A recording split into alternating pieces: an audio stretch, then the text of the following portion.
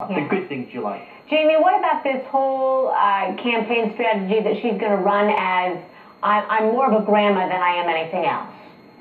Well, all brands have to refresh themselves every so often. So Hillary Clinton is a, a, very established brand, and whether you're Pepsi or Coca-Cola or Hillary Clinton, you have to go in and, and refresh it every so often so you stay relevant and interesting to people. And so what she's done with her team, and I know some of the team that have worked on this, they've gone in and said, what is the authentic Hillary? What is the way that we can tap into who she really is? And as David mentioned, distance her a little bit from Obama while not distancing her from some of the policies that the Democrats follow. But the bottom line is they go in and they say, hey, let's refresh the brand and let's repackage it so that we're new and fresh to people. And she's done that by basically positioning herself as a re energized grandmother, which I think softens her a little bit to the people who find her harsh, keeps talking about how she's re energized and, and addresses the age issue. So it's a fine balance. But I think so far, from a strategic standpoint, they've done a really good job. All right. Want to take a look at what is on the front page of the New York Post today because they're holding back no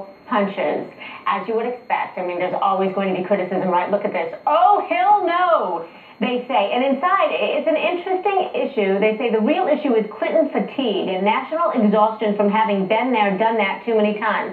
As Jamie, you were just talking about refreshing herself.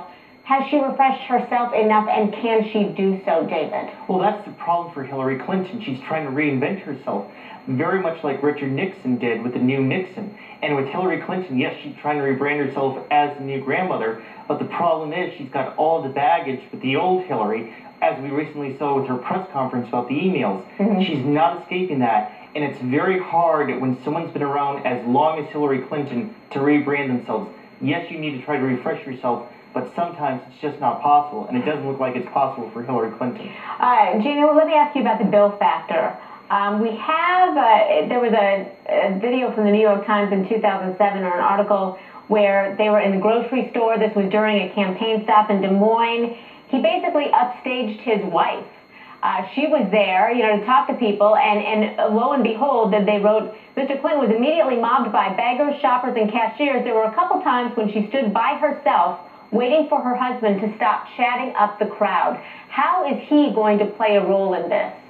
Jamie. Let, let me, uh, as a as somebody who's happily married, let me assure you, she addressed that with him immediately after that happened, and he he was talked to not only by his lovely wife but also by his handler. But you can't deny his popularity. I mean, how might his popularity in general affect her?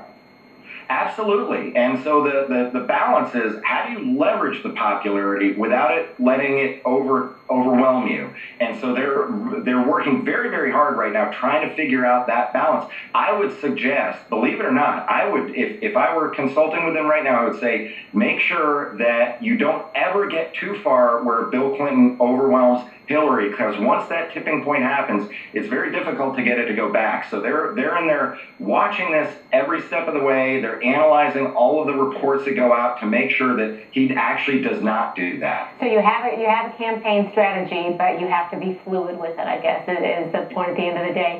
David Johnson and Jamie Turner, uh, we thank you both so much thank for being you. with us. Thank you. Thank you, Jamie.